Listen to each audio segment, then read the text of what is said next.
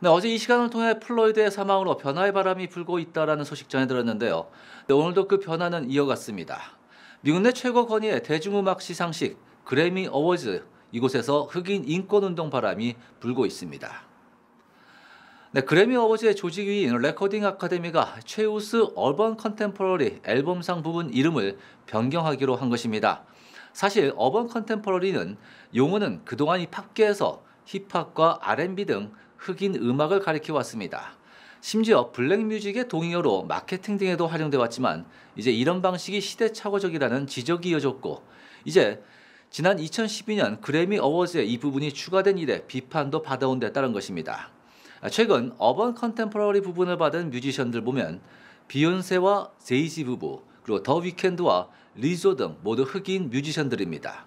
하지만 이제 Urban Contemporary의 변경된 용어는 Best Progressive R&B 앨범상으로 바뀌게 되며 내년 제63회 그래미 시상식 때부터 변경됩니다. 한편 플로이드 사망 이후 가장 큰 변화는 바로 경찰들의 입지가 크게 좁아졌다는 것입니다. 아, 심지어 아마존사가 경찰을 상대로 자사 얼굴 인식 서비스인 Rekognition을 1년 동안 사용하지 못하도록 하는 조치도 단행했습니다. 네, 조지 플로이드 사건 이후 벌어진 전국적인 인종차별 반대 시위를 제압하는 과정에서 경찰이 해당 기술을 악용하지 못하도록 막기 위한 조치입니다. 이 아마존사는 자사 제품에 얼굴 인식 기술을 경찰에 1년 동안 제공하지 않기로 결정했습니다.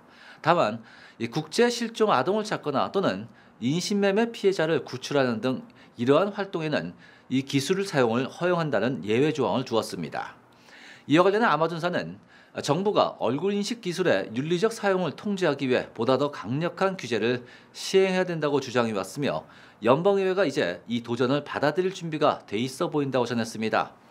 이어 1년이라는 유예 기간 동안 연방의회가 적절한 규칙을 이행할 수 있는 충분한 기간이 되기를 바란다고 전했습니다.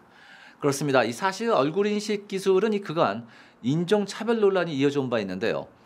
지난해 12월 연방연구소인 국립표준기술연구소는 얼굴 인식 기술이 유색인종 사람들을 잘못 인식하는 비중이 더 높다라는 연구 발표를 내놓기도 했습니다. 아, 특히 아시아와 아프리카계 미국인들의 경우 판독 오류 가능성이 100배나 더 높다는 것입니다.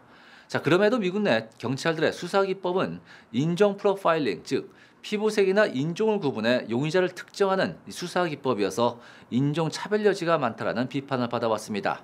하지만 이번 조지 플로이드 사망으로 촉발된 인종차별 시위가 이제 글로벌 IT 기업의 얼굴 인식 기술 중단으로까지 이어지고 있습니다.